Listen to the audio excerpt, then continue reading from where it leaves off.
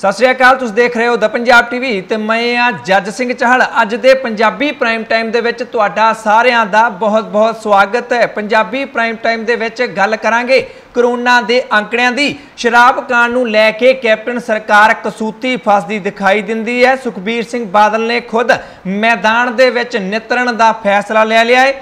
ਭਗਵੰਤ ਮਾਨ ਨੇ ਕਿਉਂ ਪੰਜਾਬ ਦੇ ਮੁੱਖ ਮੰਤਰੀ ਨੂੰ ਆਯਾਸ਼ ਲੁਟੇਰਾ ਤੱਕ ਕਹਿ ਦਿੱਤਾ? ਏ ਬੀਬੀ ਸਿੱਧੂ ਦੇ ਬਿਆਨ ਨੇ ਸਿੱਧੂ ਜੋੜੇ ਬਾਰੇ ਇੱਕ ਵਾਰ ਫਿਰ ਤੋਂ ਨਵੀਂ ਚਰਚਾ ਛੇੜ ਦਿੱਤੀ ਹੈ। ਸਿਸਵਾਂ ਦੇ ਫਾਰਮ ਹਾਊਸ ਵਿੱਚ ਕਿਉਂ ਰਹਿੰਦੇ ਨੇ ਕੈਪਟਨ ਅਮਰਿੰਦਰ ਸਿੰਘ? ਇਸ ਬਾਰੇ ਵੀ ਵੱਡਾ ਖੁਲਾਸਾ ਭਗਵੰਤ ਮਾਨ ਦੇ ਵੱਲੋਂ ਕੀਤਾ ਗਿਆ ਹੈ। ਸਾਰੀ ਜਾਣਕਾਰੀ ਤੁਹਾਨੂੰ ਦਿੰਨੇ ਆ ਪਰ ਸਭ ਤੋਂ ਪਹਿਲਾਂ ਸ਼ੁਰੂਆਤ ਕਰਦੇ ਹਾਂ ਕਰੋਨਾ ਦੇ ਅੰਕੜਿਆਂ ਤੋਂ। ਥੋੜੇ ਜਿਹੇ ਸਮੇਂ ਦੇ ਵਿੱਚ ਤੁਹਾਨੂੰ ਕਰੋਨਾ ਦੇ ਹਾਲਾਤ ਦੱਸ ਦਈਏ।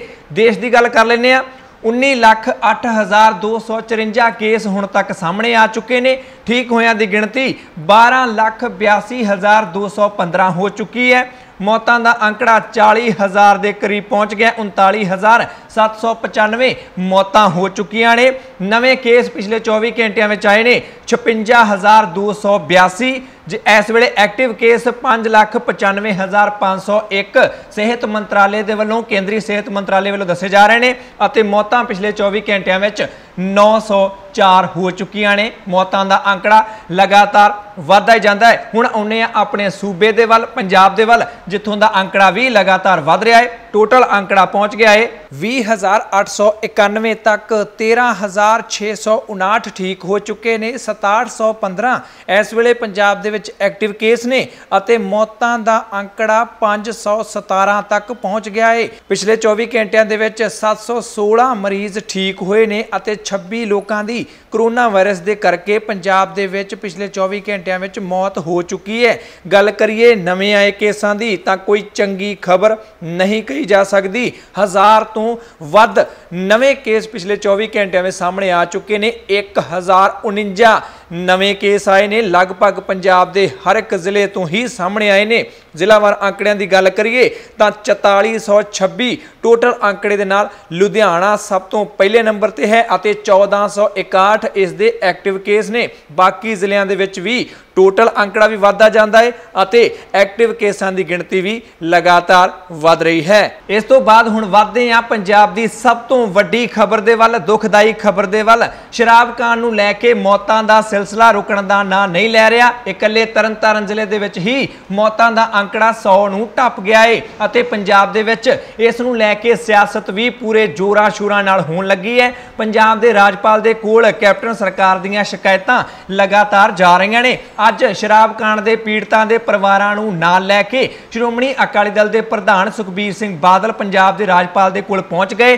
ਤਿੰਨ ਮੰਗਾਂ ਉਹਨਾਂ ਨੇ ਕੀਤੀਆਂ ਨੇ। ਪਹਿਲੀ ਮੰਗ, ਸ਼ਰਾਬ ਕਾਂਡ ਦੀ ਜਾਂਚ ਪੰਜਾਬ ਸਰਕਾਰ ਨਾ ਕਰਵਾਵੇ। ਇਸ ਦੀ ਜਾਂਚ ਕੇਂਦਰੀ ਏਜੰਸੀ ਸੀਬੀਆਈ ਤੋਂ ਕਰਵਾਈ ਜਾਣੀ ਚਾਹੀਦੀ ਹੈ। ਦੂਜੀ ਜਿਨ੍ਹਾਂ ਅਧਿਕਾਰੀਆਂ ਨੇ ਕੋਤਾਹੀ ਕੀਤੀ ਹੈ, ਅਣਗਹਿਲੀ ਕੀਤੀ ਹੈ, ਜਿਨ੍ਹਾਂ ਦੇ ਕਰਕੇ ਇੰਨੀਆਂ ਮੌਤਾਂ ਹੋਈਆਂ ਨੇ, ਉਹਨਾਂ ਨੂੰ ਸਸਪੈਂਡ ਨਹੀਂ, ਸਗੋਂ ਡਿਸਮਿਸ ਕੀਤਾ ਜਾਣਾ ਚਾਹੀਦਾ ਹੈ। ਤੀਜੀ ਮੰਗ ਇਹ ਹੈ ਕਿ ਜਿਨ੍ਹਾਂ ਕਾਂਗਰਸੀ ਵਿਧਾਇਕਾਂ ਦੇ ਨਾਂ ਪੀੜਤਾਂ ਵੱਲੋਂ ਥਾਣਿਆਂ ਦੇ ਵਿੱਚ ਜਾ ਕੇ ਲਿਖਵਾਏ ਗਏ ਨੇ, ਉਹਨਾਂ ਐਮਐਲਏਜ਼ ਨੂੰ ਵਿਧਾਇਕਾਂ ਨੂੰ ਗ੍ਰਿਫਤਾਰ, ਤੁਰੰਤ ਗ੍ਰਿਫਤਾਰ ਕੀਤਾ ਜਾਣਾ ਚਾਹੀਦਾ ਹੈ। ਸੁਖਬੀਰ ਸਿੰਘ ਬਾਦਲ ਕਹਿੰਦੇ ਨੇ ਕਿ ਇਸ ਤੋਂ ਵੱਡਾ ਸਬੂਤ ਕੀ ਹੋਏਗਾ ਕਿ ਜਿਨ੍ਹਾਂ ਦੇ ਘਰਾਂ ਵਿੱਚ ਸੱਥਰ ਵਿਛੇ ਨੇ, ਉਹ ਖੁਦ ਕਾਂਗਰਸੀ ਵਿਧਾਇਕਾਂ ਦੇ ਨਾਂ ਲੈ ਰਹੇ ਨੇ। ਸੁਖਵਿੰਦਰ ਸਿੰਘ ਡੈਨੀ ਦੀ ਗ੍ਰਿਫਤਾਰੀ ਦੀ ਮੰਗ ਕੀਤੀ ਹੈ, ਸੁਖਬੀਰ ਸਿੰਘ ਬਾਦਲ ਨੇ। ਸੁਖਪਾਲ ਸਿੰਘ ਭੁੱਲਰ ਦੀ ਗ੍ਰਿਫਤਾਰੀ ਦੀ ਮੰਗ ਕੀਤੀ ਹੈ। ਇਸ ਤੋਂ ਇਲਾਵਾ ਰਮਨਜੀਤ ਸਿੰਘ ਸਿੱਕੀ ਦੀ ਗ੍ਰਿਫਤਾਰੀ ਦੀ ਮੰਗ ਵੀ ਸੁਖਬੀਰ ਸਿੰਘ ਬਾਦਲ ਦੇ ਵੱਲੋਂ ਕਰ ਦਿੱਤੀ ਗਈ ਹੈ। ਸੁਖਬੀਰ ਸਿੰਘ ਬਾਦਲ ਇੱਥੇ ਕਾਫੀ ਗੁੱਸੇ ਦੇ ਵਿੱਚ ਦਿਖਾਈ ਦਿੱਤੇ। ਕਹਿੰਦੇ ਨੇ ਕਿ ਸਿੱਧੇ ਤੌਰ ਤੇ ਪੰਜਾਬ ਦੇ ਵਿੱਚ ਮੌਤਾਂ ਦਾ ਤਾਂਡਵ ਰਚਾਇਆ ਜਾ ਰਿਹਾ ਹੈ। ਅਤੇ ਕੈਪਟਨ ਅਮਰਿੰਦਰ ਸਿੰਘ ਸਿੱਧੇ ਤੌਰ ਤੇ ਪਰਦੇ ਪਾਉਣ ਵਿੱਚ ਲੱਗੇ ਹੋਏ ਨੇ। ਅਜਿਹੇ ਸਭ ਨੂੰ ਪੰਜਾਬ ਦੇ ਵਿੱਚ ਬਰਦਾਸ਼ਤ ਨਹੀਂ ਕੀਤਾ ਜਾਏਗਾ, ਜਿਹੜੇ ਲੋਕ ਜਾ ਕੇ ਕਾਂਗਰਸੀ ਵਿਧਾਇਕਾਂ ਦੀਆਂ ਸ਼ਿਕਾਇਤਾਂ ਥਾਣਿਆਂ ਦੇ ਵਿੱਚ ਕਰ ਰਹੇ ਨੇ। ਹੁਣ ਕਾਂਗਰਸੀ ਵਿਧਾਇਕਾਂ ਦੇ ਗੁੰਡੇ ਉਹਨਾਂ ਦੇ ਘਰੇ ਆ ਕੇ ਉਹਨਾਂ ਨੂੰ ਧਮਕਾ ਰਹੇ ਨੇ ਕਿ ਤੁਹਾਡੇ ਘਰ ਵਾਲੇ ਤਾਂ ਮਰ ਚੁੱਕੇ ਨੇ ਸ਼ਰਾਬਾਂ ਪੀ ਕੇ। ਹੁਣ ਅਸੀਂ ਤੁਹਾਨੂੰ ਵੀ ਜਾਨੋਂ ਮਾਰ ਦਿਆਂਗੇ। ਜੇਕਰ ਤੁਸੀਂ ਸਾਡਾ ਨਾਂ ਥਾਣੇ ਜਾ ਕੇ ਲਿਆ, ਸੁਖਬੀਰ ਸਿੰਘ ਬਾਦਲ ਇਹ ਬਹੁਤ ਵੱਡਾ ਦਾਵਾ ਕਰ ਰਹੇ ਨੇ। ਦੂਜੇ ਪਾਸੇ ਆਮ ਆਦਮੀ ਪਾਰਟੀ ਪੰਜਾਬ ਦੇ ਪ੍ਰਧਾਨ ਭਗਵੰਤ ਮਾਨ ਨੇ ਅੱਜ ਪਟਿਆਲਾ ਦੇ ਵਿੱਚ ਕੈਪਟਨ ਅਮਰਿੰਦਰ ਸਿੰਘ ਦੇ ਗੜ੍ਹ ਦੇ ਵਿੱਚ ਪ੍ਰੈਸ ਕਾਨਫਰੰਸ ਕਰਕੇ ਉਹਨਾਂ ਨੂੰ ਇਹ ਸਾਰੇ ਸ਼ਰਾਬ ਮਾਫੀਆ ਦੀ ਜੋ ਗੈਂਗ ਬਣੀ ਹੋਈ ਹੈ, ਉਸ ਦਾ ਲੀਡਰ ਕੈਪਟਨ ਅਮਰਿੰਦਰ ਸਿੰਘ ਨੂੰ ਕਹਿ ਦਿੱਤਾ ਹੈ। ਬਹੁਤ ਤਿੱਖੀ ਸ਼ਬਦਾਵਲੀ ਭਗਵੰਤ ਮਾਨ ਦੇ ਵੱਲੋਂ ਕੈਪਟਨ ਅਮਰਿੰਦਰ ਸਿੰਘ ਦੇ ਲਈ ਵਰਤੀ ਗਈ ਹੈ। ਭਗਵੰਤ ਮਾਨ ਕਹਿੰਦੇ ਨੇ ਕਿ ਦੋ ਵਿਭਾਗਾਂ ਦੀ ਇਸ ਦੇ ਵਿੱਚ ਅਣਗਹਿਲੀ ਹੈ। ਇੱਕ ਹੈ ਪੁਲਿਸ ਵਿਭਾਗ, ਗ੍ਰਹਿ ਮੰਤਰਾਲਾ ਅਤੇ ਦੂਜਾ ਹੈ ਐਕਸਾਈਜ਼ ਵਿਭਾਗ। ਦੋਨੋਂ ਕੈਪਟਨ ਅਮਰਿੰਦਰ ਸਿੰਘ ਦੇ ਕੋਲ ਨੇ। ਇਸ ਕਰਕੇ ਕੈਪਟਨ ਆਪਣੀ ਜ਼ਿੰਮੇਵਾਰੀ ਕਿਉਂ ਨਿਰਧਾਰਤ ਨਹੀਂ ਕਰ ਰਹੇ, ਕਿਉਂ ਭੱਜਦੇ ਫਿਰਦੇ ਨੇ ਜ਼ਿੰਮੇਵਾਰੀ ਤੋਂ? ਇਸ ਕਰਕੇ ਮੁੱਖ ਮੰਤਰੀ ਉਹਨਾਂ ਨੂੰ ਨਹੀਂ ਰਹਿਣਾ ਚਾਹੀਦਾ, ਅਸਤੀਫਾ ਦੇ ਦੇਣਾ ਚਾਹੀਦਾ ਹੈ। ਸ਼੍ਰੋਮਣੀ ਅਕਾਲੀ ਦਲ ਦੇ ਵੱਲੋਂ ਵੀ ਲਗਾਤਾਰ ਕੈਪਟਨ ਸਰਕਾਰ ਦੀ ਬਰਖਾਸਤਗੀ ਦੀ ਮੰਗ ਕੀਤੀ ਜਾ ਰਹੀ ਹੈ, ਕਿਉਂਕਿ ਇਹ ਕਹਿੰਦੇ ਨੇ ਕਿ ਹੁਣ ਇਹਨਾਂ ਦੇ ਵੱਸ ਦੀ ਗੱਲ ਨਹੀਂ ਰਹਿ ਗਈ ਕਿ ਉਹ ਪੰਜਾਬ ਸਰਕਾਰ ਚਲਾ ਸਕਦੇ ਨੇ। ਨਵਜੋਤ ਸਿੰਘ ਸਿੱਧੂ ਦੀ ਪਤਨੀ ਨਵਜੋਤ ਕੌਰ ਸਿੱਧੂ ਨੇ ਇੱਥੇ ਨਵੀਂ ਗੱਲ ਕਰ ਦਿੱਤੀ ਹੈ। ਉਹ ਕਹਿੰਦੇ ਨੇ ਕਿ ਜਿੰਨੀ ਦੇਰ ਤੱਕ ਸ਼ਰਾਬ ਮਾਫੀਆ ਵਾਲੇ ਨੂੰ, ਨਸ਼ਾ ਮਾਫੀਆ ਵਾਲੇ ਨੂੰ ਜ਼ਮਾਨਤਾਂ ਮਿਲਦੀਆਂ ਰਹਿਣਗੀਆਂ ਉਨੀ ਦੇਰ ਤੱਕ ਇਹ ਕਾਰੋਬਾਰ ਨਹੀਂ ਰੁਕਣਾ। ਜੇਲ੍ਹ ਜਾਂਦੇ ਨੇ, ਜ਼ਮਾਨਤ ਲੈ ਕੇ ਬਾਹਰ ਆ ਜਾਂਦੇ ਨੇ, ਫਿਰ ਤੋਂ ਉਹੀ ਧੰਦਾ ਕਰਨ ਲੱਗ ਪੈਂਦੇ ਨੇ। ਇਹਨਾਂ ਨੂੰ ਪੱਕੇ ਤੌਰ ਤੇ ਜੇਲ੍ਹਾਂ ਵਿੱਚ ਡੱਕਿਆ ਜਾਣਾ ਚਾਹੀਦਾ ਹੈ। ਇਹਨਾਂ ਦੀਆਂ ਜਾਇਦਾਦਾਂ ਕੁਰਕ ਕਰਕੇ ਪੀੜਤ ਪਰਿਵਾਰਾਂ ਨੂੰ ਉਹ ਪੈਸਾ ਵੰਡਿਆ ਜਾਣਾ ਚਾਹੀਦਾ ਹੈ। ਨਵਜੋਤ ਕੌਰ ਸਿੱਧੂ ਨੇ ਇਹ ਗੱਲ ਆਪਣੀ ਦਲੀਲ ਕੈਪਟਨ ਸਰਕਾਰ ਦੇ ਸਾਹਮਣੇ ਰੱਖੀ ਹੈ। ਇਹ ਕੈਪਟਨ ਸਰਕਾਰ ਤੇ ਹੀ ਹੈ ਕਿ ਇਸ ਅਪੀਲ ਨੂੰ ਮੰਨਣਾ ਹੈ ਜਾਂ ਫਿਰ ਨਹੀਂ ਮੰਨਣਾ। ਅਗਲੀ ਖਬਰ ਦੇ ਵੱਲ ਵਧਦੇ ਹਾਂ। ਇਸੇ ਦੇ ਨਾਲ ਹੀ ਜੁੜੀ ਹੋਈ ਹੈ। ਕਾਂਗਰਸ ਪਾਰਟੀ ਦੇ ਅੰਮ੍ਰਿਤਸਰ ਤੋਂ ਵਿਧਾਇਕ ਕੈਬਨਿਟ ਰੈਂਕ ਪ੍ਰਾਪਤ ਡਾਕਟਰ ਰਾਜਕੁਮਾਰ ਵੇਰਕਾ ਨੇ ਅੱਜ ਇੱਕ ਨਵੀਂ ਪਹਿਲ ਕਦਮੀ ਕੀਤੀ ਹੈ। ਅੰਮ੍ਰਿਤਸਰ ਦੇ ਹੀ ਇੱਕ ਪਰਿਵਾਰ ਨੂੰ, ਜਿਸ ਨੂੰ ਕਿ ਪੈਸੇ ਦੀ ਬਹੁਤ ਜ਼ਿਆਦਾ ਲੋੜ ਸੀ, ਇਕਲੌਤਾ ਉਹਨਾਂ ਦਾ ਕਮਾਈ ਕਰਨ ਵਾਲਾ ਦੁਨੀਆ ਤੋਂ ਚਲਿਆ ਗਿਆ ਹੈ। ਇਸ ਕਰਕੇ ਡਾਕਟਰ ਰਾਜਕੁਮਾਰ ਵੇਰਕਾ ਨੇ ਉਸ ਪਰਿਵਾਰ ਦੀ ਆਪਣੀ ਜੇਬ ਦੇ ਵਿੱਚੋਂ, ਨਿੱਜੀ ਕਮਾਈ ਦੇ ਵਿੱਚੋਂ 1 ਲੱਖ ਰੁਪਏ ਦੀ ਮਦਦ ਕੀਤੀ ਹੈ। ਨਾਲ ਹੀ ਉਹਨਾਂ ਨੇ ਚਾਰ ਲੀਡਰਾਂ ਨੂੰ ਇਹ ਬੇਨਤੀ ਕੀਤੀ ਹੈ ਕੈਪਟਨ ਅਮਰਿੰਦਰ ਸਿੰਘ ਨੂੰ, ਸੁਖਬੀਰ ਸਿੰਘ ਬਾਦਲ ਨੂੰ, ਭਗਵੰਤ ਮਾਨ ਨੂੰ ਅਤੇ ਅਸ਼ਵਨੀ ਸ਼ਰਮਾ ਨੂੰ। ਇਹ ਚਾਰੇ ਟੌਪ ਦੇ ਲੀਡਰ ਨੇ, ਚਾਰੇ ਪਾਰਟੀਆਂ ਦੇ। ਡਾਕਟਰ ਰਾਜਕੁਮਾਰ ਵੇਰਕਾ ਕਹਿੰਦੇ ਨੇ ਕਿ ਇਹਨਾਂ ਸਾਰੇ ਲੀਡਰਾਂ ਨੂੰ ਇਸ ਵੇਲੇ ਸਿਆਸਤ ਨਹੀਂ ਕਰਨੀ ਚਾਹੀਦੀ ਹੈ ਕਿਉਂਕਿ ਇਸ ਵੇਲੇ ਇਹ ਮੌਤਾਂ ਦਾ ਮਸਲਾ ਹੈ, ਇਸ ਤੇ ਸਿਆਸਤ ਨਹੀਂ ਹੋਣੀ ਚਾਹੀਦੀ ਹੈ। ਨਾਲ ਹੀ ਉਹਨਾਂ ਨੇ ਜੋ 2 ਲੱਖ ਦਾ ਮੁਆਵਜ਼ਾ ਪੰਜਾਬ ਸਰਕਾਰ ਦੇ ਵੱਲੋਂ ਮ੍ਰਿਤਕਾਂ ਦੇ ਪਰਿਵਾਰਾਂ ਨੂੰ ਦਿੱਤਾ ਜਾ ਰਿਹਾ ਹੈ, ਉਸ ਨੂੰ ਵੀ ਘੱਟ ਦੱਸਿਆ ਹੈ ਅਤੇ ਸਾਰੇ ਪੰਜਾਬ ਦੇ ਲੀਡਰਾਂ ਨੂੰ ਅਪੀਲ ਕਰ ਦਿੱਤੀ ਹੈ। ਡਾਕਟਰ ਰਾਜਕੁਮਾਰ ਵੇਰਕਾ ਕਹਿੰਦੇ ਨੇ ਕਿ ਪੰਜਾਬ ਦੇ ਵਿੱਚ ਇਸ ਵੇਲੇ 117 ਵਿਧਾਇਕ ਨੇ ਅਤੇ 13 ਐਮਪੀ ਨੇ ਲੋਕ ਸਭਾ ਦੇ। ਜੇਕਰ ਇਹ ਸਾਰੇ ਆਪੋ ਆਪਣੀ ਨਿੱਜੀ ਕਮਾਈ ਦੇ ਵਿੱਚੋਂ, ਆਪਣੀ ਤਨਖਾਹ ਦੇ ਵਿੱਚੋਂ, ਆਪਣੀ ਜੇਬ ਦੇ ਵਿੱਚੋਂ ਹਰ ਇੱਕ ਪੀੜਤ ਪਰਿਵਾਰ ਨੂੰ 1-1 ਲੱਖ ਰੁਪਇਆ ਵੀ ਦੇਣ, ਤਾਂ ਇਹਨੇ ਸਾਰੇ ਪਰਿਵਾਰਾਂ ਦੀ ਮਦਦ ਹੋ ਸਕਦੀ ਹੈ। ਇਹਨਾਂ ਸਾਰੇ ਲੀਡਰਾਂ ਨੂੰ ਇਦਾਂ ਹੀ ਕਰਨਾ ਚਾਹੀਦਾ ਹੈ। ਡਾਕਟਰ ਰਾਜਕੁਮਾਰ ਵੇਰਕਾ ਨੇ ਪਹਿਲ ਕਰਕੇ ਬਾਕੀ ਲੀਡਰਾਂ ਨੂੰ ਅਪੀਲ ਕੀਤੀ ਹੈ, ਭਾਵੇਂ ਉਹ ਆਪਣੀ ਹੀ ਕਾਂਗਰਸ ਪਾਰਟੀ ਦੇ ਕਿਉਂ ਨਾ ਹੋਣ। ਸਾਰਿਆਂ ਨੂੰ ਉਹਨਾਂ ਨੇ ਅਪੀਲ ਕਰ ਦਿੱਤੀ ਹੈ। ਦੇਖਣ ਵਾਲੀ ਗੱਲ ਹੋਏਗੀ ਕਿ ਕਿਹੜੇ ਵਿਧਾਇਕ ਅਤੇ ਕਿਹੜੇ ਐਮਪੀ ਡਾਕਟਰ ਰਾਜਕੁਮਾਰ ਵੇਰਕਾ ਦੀ ਗੱਲ ਮੰਨ ਕੇ ਆਪਣੀ ਜੇਬ ਦੇ ਵਿੱਚੋਂ ਲੱਖ ਲੱਖ ਰੁਪਇਆ ਇਹਨਾਂ ਪੀੜਤ ਪਰਿਵਾਰਾਂ ਨੂੰ ਦਿੰਦੇ ਨੇ। ਅਗਲੀ ਖਬਰ ਦੇ ਵੱਲ ਵਧਦੇ ਹਾਂ, ਜੋ ਕਿ ਸਿੱਧੂ ਜੋੜੇ ਦੇ ਨਾਲ ਜੁੜੀ ਹੋਈ ਹੈ। ਅੱਜ ਬੀਬੀ ਨਵਜੋਤ ਕੌਰ ਸਿੱਧੂ ਦਾ ਇੱਕ ਨਵਾਂ ਹੀ ਬਿਆਨ ਸਾਹਮਣੇ ਆ ਗਿਆ ਹੈ। ਕਹਿੰਦੇ ਨੇ ਕਿ ਅਸੀਂ ਭਾਜਪਾ ਨੂੰ ਉਦੋਂ ਵੀ ਕਹਿੰਦੇ ਸਾਂ ਕਿ ਅਕਾਲੀਆਂ ਦੇ ਨਾਲ ਨਾ ਰਹੋ, ਤੁਹਾਨੂੰ ਘਾਟਾ ਪਏਗਾ ਅਤੇ ਉਹੀ ਕੁਝ 17 ਦੀਆਂ ਵਿਧਾਨ ਸਭਾ ਚੋਣਾਂ ਦੇ ਵਿੱਚ ਹੋਇਆ ਵੀ। ਪੁੱਛਿਆ ਗਿਆ ਕਿ ਜੇਕਰ ਹੁਣ ਭਾਜਪਾ 2022 ਦੀਆਂ ਚੋਣਾਂ ਇਕੱਲਿਆਂ ਲੜਦੀ ਹੈ, ਅਕਾਲੀਆਂ ਦਾ ਸਾਥ ਛੱਡ ਦਿੰਦੀ ਹੈ, ਤਾਂ ਕੀ ਤੁਸੀਂ ਭਾਜਪਾ ਨੂੰ ਜੁਆਇਨ ਕਰ ਲਓਗੇ? ਤਾਂ ਨਵਜੋਤ ਕੌਰ ਸਿੱਧੂ ਨੇ ਇਸ ਗੱਲ ਨੂੰ ਹੱਸ ਕੇ ਟਾਲ ਦਿੱਤਾ। ਕਹਿੰਦੇ ਨੇ ਕਿ ਪਹਿਲਾਂ ਉਹ ਛੱਡਣ ਤਾਂ ਸਹੀ, ਉਸ ਤੋਂ ਬਾਅਦ ਹੀ ਅਸੀਂ ਕੋਈ ਫੈਸਲਾ ਲਵਾਂਗੇ। ਹੱਸਣ ਦਾ ਮਤਲਬ ਇਹ ਸੀ ਕਿ ਪਹਿਲਾਂ ਫੈਸਲਾ ਭਾਜਪਾ ਨੇ ਲੈਣਾ ਹੈ ਕਿ ਅਕਾਲੀਆਂ ਨੂੰ ਛੱਡਣਾ ਹੈ ਜਾਂ ਫਿਰ ਨਹੀਂ, ਕਿਉਂਕਿ ਕੁਝ ਦਿਨ ਪਹਿਲਾਂ ਵੀ ਉਹ ਟਵੀਟ ਕਰ ਚੁੱਕੇ ਨੇ ਕਿ ਉਹਨਾਂ ਨੂੰ ਭਾਜਪਾ ਤੋਂ, ਉਹਨਾਂ ਦੋਵਾਂ ਨੂੰ ਨਵਜੋਤ ਸਿੰਘ ਸਿੱਧੂ ਨੂੰ ਵੀ ਅਤੇ ਨਵਜੋਤ ਕੌਰ ਸਿੱਧੂ ਨੂੰ। ਦੋਨਾਂ ਨੂੰ ਭਾਜਪਾ ਤੋਂ ਅਜੇ ਵੀ ਕੋਈ ਦਿੱਕਤ ਨਹੀਂ ਹੈ। ਦਿੱਕਤ ਹੈ ਤਾਂ ਉਹਨਾਂ ਦੇ ਅਕਾਲੀਆਂ ਨਾਲ ਗੱਠਜੋੜ ਤੋਂ ਹੈ ਅਤੇ ਹੁਣ ਉਹਨਾਂ ਨੇ ਹੱਸ ਕੇ ਨਵੀਆਂ ਚਰਚਾਵਾਂ ਨੂੰ ਜਨਮ ਦੇ ਦਿੱਤਾ ਹੈ ਕਿ ਕੀ ਜੇਕਰ ਅਕਾਲੀ ਦਲ ਨਾਲੋਂ ਭਾਜਪਾ ਵੱਖ ਹੋ ਗਈ ਤਾਂ ਭਾਜਪਾ ਵਿੱਚ ਜਾ ਸਕਦਾ ਹੈ ਸਿੱਧੂ ਜੋੜਾ। ਕਿਉਂਕਿ ਇਸ ਵੇਲੇ ਪੰਜਾਬ ਦੇ ਵਿੱਚ ਭਾਜਪਾ ਨੂੰ ਲੈ ਕੇ ਵੀ ਬਹੁਤ ਸਾਰੀਆਂ ਚਰਚਾਵਾਂ ਚੱਲ ਰਹੀਆਂ ਨੇ। ਭਾਜਪਾ ਦੇ ਜੋ ਲੀਡਰ ਨੇ, ਉਹ ਗਰਾਊਂਡ ਲੈਵਲ ਤੇ ਆਪਣੀ ਪਾਰਟੀ ਨੂੰ ਮਜ਼ਬੂਤ ਕਰਨ ਤੇ ਲੱਗੇ ਹੋਏ ਨੇ। ਭਾਵੇਂ ਉਹ ਅਕਾਲੀਆਂ ਦੇ ਗੜ ਵਿੱਚ ਹੀ ਕਿਉਂ ਨਾ ਹੋਵੇ, ਬਹੁਤ ਸਾਰੇ ਅਜਿਹੇ ਵਿਧਾਨ ਸਭਾ ਹਲਕੇ ਨੇ ਜੋ ਕਿ ਅਕਾਲੀਆਂ ਨੂੰ ਆਉਂਦੇ ਨੇ ਗੜ ਜੋੜ ਦੇ ਤਹਿਤ, ਪਰ ਫਿਰ ਵੀ ਭਾਰਤੀ ਜਨਤਾ ਪਾਰਟੀ ਦੇ ਵੱਲੋਂ ਆਪਣੇ ਵਰਕਰਾਂ ਨੂੰ ਉੱਥੇ ਕੰਮ ਕਰਨ ਲਈ ਕਿਹਾ ਗਿਆ ਹੈ। ਪਾਰਟੀ ਨੂੰ ਗਰਾਊਂਡ ਲੈਵਲ ਤੇ ਮਜ਼ਬੂਤ ਕਰਨ ਲਈ ਕਿਹਾ ਗਿਆ ਹੈ। ਜਦੋਂ ਪੁੱਛਿਆ ਜਾਂਦਾ ਹੈ ਭਾਜਪਾ ਨੂੰ ਕਿ ਇਹ ਤਾਂ ਅਕਾਲੀਆਂ ਦਾ ਵਿਧਾਨ ਸਭਾ ਹਲਕਾ ਹੈ, ਤੁਸੀਂ ਇੱਥੇ ਕੰਮ ਕਿਉਂ ਕਰ ਰਹੇ ਹੋ? ਆਪਣੀ ਪਾਰਟੀ ਵਿੱਚ ਲੋਕਾਂ ਨੂੰ ਸ਼ਾਮਲ ਕਿਉਂ ਕਰੀ ਜਾਂਦੇ ਹੋ? ਤਾਂ ਉਹ ਕਹਿੰਦੇ ਨੇ ਕਿ ਸਾਡਾ ਕੰਮ ਹੈ ਕਿ ਪੂਰੇ ਪੰਜਾਬ ਦੇ ਵਿੱਚ ਪਾਰਟੀ ਨੂੰ ਮਜ਼ਬੂਤ ਕੀਤਾ ਜਾਵੇ ਅਤੇ ਅਸੀਂ ਉਹ ਕਰ ਰਹੇ ਹਾਂ।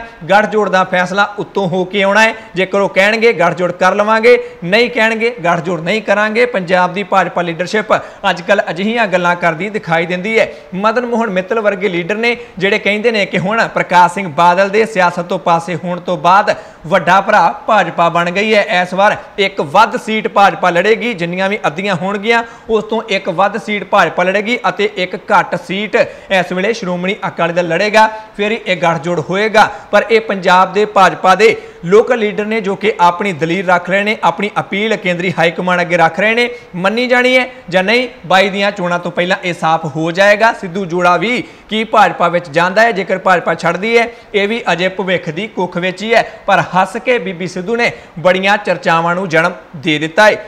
ਅਗਲੀ ਖਬਰ ਦੇ ਵੱਲ ਵਧਦੇ ਹਾਂ। ਕੈਪਟਨ ਅਮਰਿੰਦਰ ਸਿੰਘ, ਜਦੋਂ ਤੋਂ ਸਰਕਾਰ ਬਣੀ ਹੈ, ਕਿਸੇ ਨੇ ਵੀ ਲਗਭਗ ਉਹਨਾਂ ਨੂੰ ਪੰਜਾਬ ਦੇ ਵਿੱਚ ਵਿਚਰਦਿਆਂ ਲੋਕਾਂ ਵਿੱਚ ਨਹੀਂ ਦੇਖਿਆ ਹੋਵੇਗਾ ਬਹੁਤ ਸਾਰੇ ਲੋਕਾਂ ਵੱਲੋਂ ਸਵਾਲ ਚੁੱਕੇ ਜਾਣ ਲੱਗੇ। ਲੋਕਾਂ ਦੇ ਵਿੱਚ ਵਿਚਰਦਿਆਂ ਤਾਂ ਕੀ ਦੇਖਣਾ ਹੈ? ਪੰਜਾਬ ਕਾਂਗਰਸ ਦੇ ਪ੍ਰਧਾਨ ਸੁਨੀਲ ਜਾਖੜ ਦੀ ਵੀ ਬਹੁਤ ਵਾਰ ਬੇਇੱਜ਼ਤੀ ਹੋ ਚੁੱਕੀ ਹੈ। ਮਿਲਣ ਗਏ, ਉਹਨਾਂ ਨੂੰ ਉੱਥੇ ਬਿਠਾਈ ਰੱਖਿਆ ਮਿਲ ਨਹੀਂ ਦਿੱਤਾ। ਕਦੇ ਉਹਨਾਂ ਦਾ ਫੋਨ ਰੱਖ ਲਿਆ, ਕਦੀ ਸਿਕਿਉਰਿਟੀ ਚੈੱਕ ਕੀਤੀ ਗਈ, ਫਿਰ ਵੀ ਨਹੀਂ ਮਿਲਣ ਦਿੱਤਾ ਗਿਆ। ਹੋਰ ਵੀ ਬਹੁਤ ਸਾਰੇ ਲੀਡਰ ਅਤੇ ਮੰਤਰੀ ਨੇ, ਜਿਨ੍ਹਾਂ ਦੀ ਕਾਫੀ ਵਾਰ ਕਿਰਕਰੀ ਹੋ ਚੁੱਕੀ ਹੈ। ਕੈਪਟਨ ਨਾਲ ਮਿਲਣੇ ਜਾਂਦੇ ਨੇ, ਉਹਨਾਂ ਨੂੰ ਨਹੀਂ ਮਿਲਣ ਦਿੱਤਾ ਜਾਂਦਾ। ਹੁਣ ਤਾਜ਼ਾ ਖਬਰ ਆਈ ਹੈ, ਪੰਜਾਬ ਯੂਥ ਕਾਂਗਰਸ ਦੇ ਪ੍ਰਧਾਨ ਬਰਿੰਦਰ ਢਿੱਲੋਂ ਦੇ ਨਾਲ ਵੀ ਅਜਿਹਾ ਹੀ ਕੁਝ ਹੋਇਆ ਹੈ। ਸੀਐਮ ਦੇ ਨਾਲ ਮਿਲਣਾ ਚਾਹੁੰਦੇ ਸਨ। ਹਾਲਾਂਕਿ ਉਹਨਾਂ ਨੇ ਖੁਦ ਮੀਡੀਆ ਦੇ ਸਾਹਮਣੇ ਆ ਕੇ ਇਸ ਗੱਲ ਦੀ ਪੁਸ਼ਟੀ ਨਹੀਂ ਕੀਤੀ ਹੈ, ਪਰ ਖਬਰਾਂ ਆ ਰਹੀਆਂ ਨੇ ਕਿ ਉਹਨਾਂ ਦੇ ਨਾਲ ਵੀ ਅਜਿਹਾ ਹੀ ਕੁਝ ਹੋਇਆ ਹੈ। ਸੀਐਮ ਸਾਹਿਬ ਨੂੰ ਮਿਲਣਾ ਚਾਹੁੰਦੇ ਸਨ ਅਤੇ ਨਹੀਂ ਮਿਲ ਦਿੱਤਾ ਗਿਆ ਅਤੇ ਕਾਫੀ ਤਿੱਖੀ ਬੋਲਬਾਣੀ ਵੀ ਹੋਈ ਦੱਸੀ ਜਾਂਦੀ ਹੈ। ਸੀਐਮ ਸਾਹਿਬ ਦੇ ਓਐਸਡੀ ਦੇ ਨਾਲ ਇਸ ਤਰ੍ਹਾਂ ਕੈਪਟਨ ਅਮਰਿੰਦਰ ਸਿੰਘ ਨੂੰ ਲੈ ਕੇ ਬਹੁਤ ਸਾਰੇ ਪੰਜਾਬ ਦੇ ਵਿੱਚ ਸਵਾਲ ਉੱਠ ਰਹੇ ਨੇ ਕਿ ਆਖਰ ਉਹ ਪੰਜਾਬ ਦੇ ਵਿੱਚ ਵਿਚਰਦੇ ਕਿਉਂ ਨਹੀਂ? ਭਗਵੰਤ ਮਾਨ ਦੇ ਵੱਲੋਂ ਵੀ ਪੰਜਾਬ ਦੇ ਵਿੱਚ ਕੈਪਟਨ ਲੱਭੋ ਨਾਂ ਦੀ ਮੁਹਿੰਮ ਸ਼ੁਰੂ ਕੀਤੀ ਗਈ ਹੈ। ਅੱਜ ਪਟਿਆਲਾ ਦੇ ਵਿੱਚ ਜਿਹੜੀ ਪ੍ਰੈਸ ਕਾਨਫਰੰਸ ਭਗਵੰਤ ਮਾਨ ਨੇ ਕੀਤੀ ਹੈ, ਉਸ ਦੇ ਵਿੱਚ ਉਹਨਾਂ ਨੇ ਇਸ ਬਾਰੇ ਵੀ ਖੁਲਾਸਾ ਕੀਤਾ ਹੈ ਕਿ ਕੈਪਟਨ ਅਮਰਿੰਦਰ ਸਿੰਘ ਜੋ ਮੁੱਖ ਮੰਤਰੀ ਪੰਜਾਬ ਦੇ ਨੂੰ ਸਰਕਾਰੀ ਕੋਠੀ ਚੰਡੀਗੜ੍ਹ ਦੇ ਵਿੱਚ ਮਿਲਦੀ ਹੈ, ਉਸ ਵਿੱਚ ਕਿਉਂ ਨਹੀਂ ਰਹਿੰਦੇ? ਭਗਵੰਤ ਮਾਨ ਕਹਿੰਦੇ ਨੇ ਕਿ ਜਿਹੜੀ ਕੋਠੀ ਚੰਡੀਗੜ੍ਹ ਦੇ ਵਿੱਚ ਹੈ, ਸਰਕਾਰੀ ਮੁੱਖ ਮੰਤਰੀ ਦੀ, ਉਸ ਦਾ ਸਾਰਾ ਪ੍ਰਸ਼ਾਸਨ ਕੇਂਦਰੀ ਗ੍ਰਹਿ ਮੰਤਰਾਲੇ ਦੇ ਕੋਲ ਹੈ, ਜੋ ਕਿ ਅਮਿਤ ਸ਼ਾਹ ਦੇ ਅੰਡਰ ਆਉਂਦਾ ਹੈ। ਭਗਵੰਤ ਮਾਨ ਦਾ ਦਾਵਾ ਹੈ ਕਿ ਮੁੱਖ ਮੰਤਰੀ ਕੈਪਟਨ ਅਮਰਿੰਦਰ ਸਿੰਘ ਦੇ ਕੋਲ ਸਾਰੇ ਪੰਜਾਬ ਤੋਂ ਸ਼ਾਮ ਨੂੰ ਲੋਕ ਪੈਸਾ ਜਮ੍ਹਾਂ ਕਰਵਾਉਣ ਆਉਂਦੇ ਨੇ, ਜੋ ਕਿ ਵੱਖ-ਵੱਖ ਕਾਰੋਬਾਰਾਂ ਦੇ ਵਿੱਚ, ਗਲਤ ਕਾਰੋਬਾਰਾਂ ਦੇ ਵਿੱਚ ਕਾਲਾ ਬਾਜ਼ਾਰੀ ਦੇ ਵਿੱਚ ਉਹਨਾਂ ਦਾ ਹਿੱਸਾ ਹੈ। ਲੋਕ ਉਹਨਾਂ ਕੋਲ ਪੈਸਾ ਦੇਣ ਆਉਂਦੇ ਨੇ, ਉਹਨਾਂ ਨੂੰ ਕਿ ਆ ਲਓ, ਇੰਨੀ ਕਮਾਈ ਹੈ, ਜੇਕਰ ਚੰਡੀਗੜ੍ਹ ਦੀ ਸਰਕਾਰੀ ਰਹਿائش ਵਿੱਚ ਇੰਨੇ ਲੋਕ ਸ਼ਾਮ ਨੂੰ ਪੈਸਾ ਦੇਣ ਆਉਣਗੇ, ਕੈਪਟਨ ਅਮਰਿੰਦਰ ਸਿੰਘ ਨੂੰ, ਤਾਂ ਕੇਂਦਰੀ ਗ੍ਰਹਿ ਮੰਤਰਾਲੇ ਨੂੰ ਪਤਾ ਲੱਗ ਜਾਏਗਾ ਅਤੇ ਉਹਨਾਂ ਤੇ ਕਾਰਵਾਈ ਹੋ ਸਕਦੀ ਹੈ। ਜਿਹੜਾ ਉਹਨਾਂ ਦਾ ਫਾਰਮ ਹਾਊਸ ਹੈ ਸਿਸਮਾਂ ਦੇ ਵਿੱਚ, ਉਹ ਪੰਜਾਬ ਪੁਲਿਸ ਦੇ ਅੰਡਰ ਆਉਂਦਾ ਹੈ। ਉੱਥੇ ਉਹਨਾਂ ਨੂੰ ਕਿਸੇ ਨੇ ਵੀ ਨਹੀਂ ਪੁੱਛਣਾ। ਇਸੇ ਕਰਕੇ ਕੈਪਟਨ ਅਮਰਿੰਦਰ ਸਿੰਘ ਸ਼ਾਮ ਨੂੰ ਉਗਰਾਈ ਕਰਨ ਦੇ ਲਈ ਸਿਸਮਾਂ ਦੇ ਫਾਰਮ ਹਾਊਸ ਵਿੱਚ ਹੀ ਬੈਠੇ ਰਹਿੰਦੇ ਨੇ। ਇੱਕ ਹੋਰ ਦਾਵਾ ਭਗਵੰਤ ਮਾਨ ਦੇ ਵੱਲੋਂ ਕੀਤਾ ਗਿਆ ਹੈ ਕਿ ਜਿਹੜਾ ਕੈਪਟਨ ਅਮਰਿੰਦਰ ਸਿੰਘ ਨੇ ਸਿਸਮਾਂ ਦੇ ਵਿੱਚ ਫਾਰਮ ਹਾਊਸ ਬਣਾਇਆ ਹੈ, ਉਸੇ ਦੇ ਕੋਲ ਹੀ ਸੁਖਬੀਰ ਸਿੰਘ ਬਾਦਲ ਦਾ ਫਾਰਮ ਹਾਊਸ ਵੀ ਹੈ ਸੁਖ ਵਿਲਾਸ ਅਤੇ ਇਹਨਾਂ ਨੇ ਆਪਸ ਵਿੱਚ ਸ਼ਾਮ ਨੂੰ ਹਿੱਸਾ ਵੀ ਵੰਡਣਾ ਹੁੰਦਾ ਹੈ।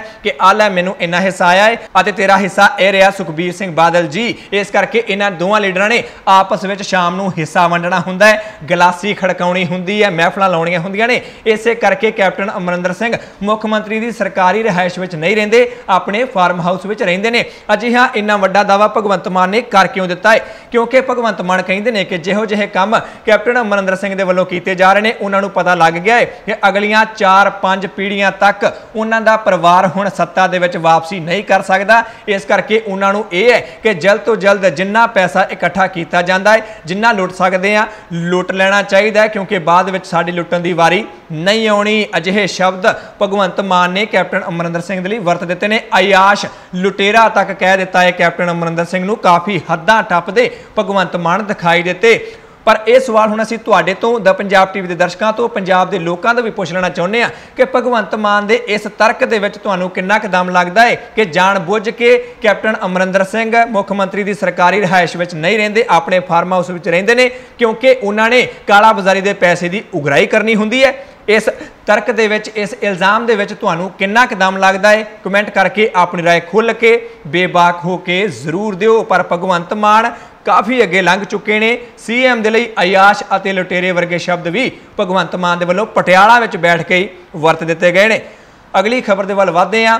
ਰਾਮ ਮੰਦਰ ਦਾ ਨੀਂਹ ਪੱਥਰ ਰੱਖਿਆ ਗਿਆ। ਇੱਕ ਵਿਵਾਦ ਛੇੜ ਦਿੱਤਾ ਪ੍ਰਧਾਨ ਮੰਤਰੀ ਮੋਦੀ ਨੇ। ਇੱਕ ਵਿਵਾਦ ਛੇੜ ਦਿੱਤਾ ਸਾਬਕਾ ਜਥੇਦਾਰ ਗਿਆਨੀ ਇਕਬਾਲ ਸਿੰਘ ਨੇ। ਜੋ ਪ੍ਰਧਾਨ ਮੰਤਰੀ ਨਰਿੰਦਰ ਮੋਦੀ ਦੇ ਵਿਵਾਦ ਹੋਇਆ, ਉਹ ਇਹ ਹੋਇਆ। ਉਹਨਾਂ ਨੇ ਆਪਣੇ ਭਾਸ਼ਣ ਦੇ ਵਿੱਚ ਕਹਿ ਦਿੱਤਾ ਕਿ ਗੁਰੂ ਗੋਬਿੰਦ ਸਿੰਘ ਜੀ ਨੇ ਖੁਦ ਗੋਬਿੰਦ ਰਾਮਾਇਣ ਵੀ ਲਿਖੀ ਹੈ। ਸਿੱਖ ਵਿਦਵਾਨਾਂ ਦੇ ਵੱਲੋਂ ਇਸ ਦਾ ਵਿਰੋਧ ਕੀਤਾ ਜਾਣ ਲੱਗਾ ਕਿ ਇਸ ਵਿੱਚ ਕੋਈ ਵੀ ਸੱਚਾਈ ਨਹੀਂ ਹੈ। ਦੂਜਾ ਵਿਵਾਦ ਛੇੜਿਆ ਸਾਬਕਾ ਜਥੇਦਾਰ ਗਿਆਨੀ ਇਕਬਾਲ ਸਿੰਘ ਨੇ, ਜਿਨ੍ਹਾਂ ਨੇ ਦਾਅਵਾ ਕਰ ਦਿੱਤਾ ਕਿ ਰਾਮ ਦੇ ਦੋ ਪੁੱਤਰ ਸਨ, ਲਵ ਅਤੇ ਕੁਸ਼।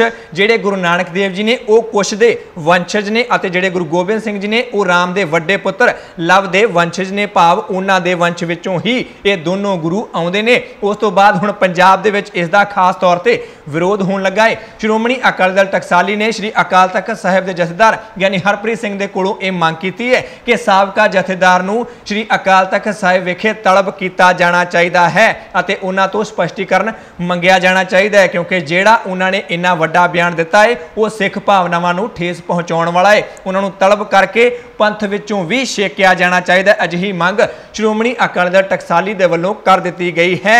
ਬਿਆਨਾਂ ਨੂੰ ਲੈ ਕੇ ਵਿਵਾਦ ਲਗਾਤਾਰ ਵੱਧ ਦਿਖਾਈ ਦਿੰਦਾ ਹੈ। ਜਿਹੜਾ ਪੀਐਮ ਮੋਦੀ ਨੇ ਵਿਵਾਦ ਛੇੜਿਆ, ਉਸ ਬਾਰੇ ਵੀ ਕਈ ਸਿੱਖ ਵਿਦਵਾਨ ਕਹਿ ਰਹੇ ਨੇ ਕਿ ਜਿਸ ਗੋਬਿੰਦ ਰਮਾਇਣ ਦਾ ਜ਼ਿਕਰ ਪ੍ਰਧਾਨ ਮੰਤਰੀ ਦੇ ਵੱਲੋਂ ਕੀਤਾ ਗਿਆ, ਉਹ ਕਿਸੇ ਗੋਬਿੰਦ ਪੰਡਤ ਨੇ ਲਿਖੀ ਸੀ ਅਤੇ ਜਾਣਬੁੱਝ ਕੇ ਹੀ ਸ੍ਰੀ ਗੁਰੂ ਗੋਬਿੰਦ ਸਿੰਘ ਜੀ ਦੇ ਨਾਲ ਉਸ ਰਮਾਇਣ ਨੂੰ ਜੋੜਿਆ ਜਾ ਰਿਹਾ ਹੈ। ਅਸਲ ਸੱਚਾਈ ਕੀ ਹੈ? ਇਹ ਤਾਂ ਸਿੱਖ ਵਿਦਵਾਨ ਹੀ ਦੱਸ ਸਕਦੇ ਨੇ, ਪਰ ਪ੍ਰਧਾਨ ਮੰਤਰੀ ਨਰਿੰਦਰ ਮੋਦੀ ਇਤਿਹਾਸ ਨੂੰ ਲੈ ਕੇ ਪਹਿਲਾਂ ਵੀ ਕਈ ਤਰ੍ਹਾਂ ਦੇ ਅਜਿਹੇ ਦਾਅਵੇ ਕਰ ਚੁੱਕੇ ਨੇ, ਜਿਨ੍ਹਾਂ ਦਾ ਜ਼ਮੀਨੀ ਪੱਧਰ ਤੇ ਕੋਈ ਵੀ ਹਕੀਕਤ ਨਾਲ ਸਰੋਕਾਰ ਨਹੀਂ ਹੁੰਦਾ, ਬਿਲਕੁਲ ਝੂਠੇ ਹੁੰਦੇ ਨੇ। ਇਤਿਹਾਸ ਨਾਲ ਛੇੜਛਾੜ ਪਹਿਲਾਂ ਵੀ ਪ੍ਰਧਾਨ ਮੰਤਰੀ ਨਰਿੰਦਰ ਮੋਦੀ ਬਹੁਤ ਵਾਰ ਕਰ ਚੁੱਕੇ ਨੇ ਅਤੇ ਅਜਿਹਾ ਇਸ ਵਾਰ ਵੀ ਸੰਭਵ ਹੈ। ਅਗਲੀ ਖਬਰ ਦੇ ਵੱਲ ਵਧਦੇ ਹਾਂ। ਕੈਪਟਨ ਸਰਕਾਰ ਨੇ ਆਪਣੇ 4 ਸਾਲ ਪੂਰੇ ਹੋਣ ਤੋਂ ਪਹਿਲਾਂ ਪਹਿਲਾਂ ਇੱਕ ਵਾਰ ਫਿਰ ਤੋਂ ਪੰਜਾਬ ਦੇ ਨੌਜਵਾਨਾਂ ਨੂੰ ਉਹੀ ਖੁਸ਼ਖਬਰੀ ਸੁਣਾ ਦਿੱਤੀ, ਜਿਹੜੀ ਕਿ ਪਹਿਲਾਂ ਕਾਫੀ ਵਾਰ ਸੁਣਾਈ ਗਈ ਹੈ।